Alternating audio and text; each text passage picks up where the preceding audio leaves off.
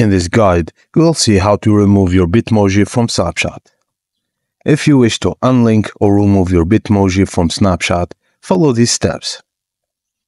Begin by opening Snapchat app on your phone. Tap on your Bitmoji in the top left corner of the camera screen to access your profile. Tap the gear icon or settings in the top right corner of your profile screen. And then tap Bitmoji in the settings menu. Select remove any Bitmoji at the bottom of the screen and confirm you want to remove my Bitmoji by tapping the confirmation button.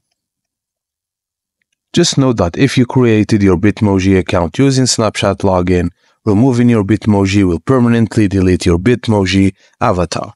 You will need to recreate your avatar from scratch if you decide to use Bitmoji again.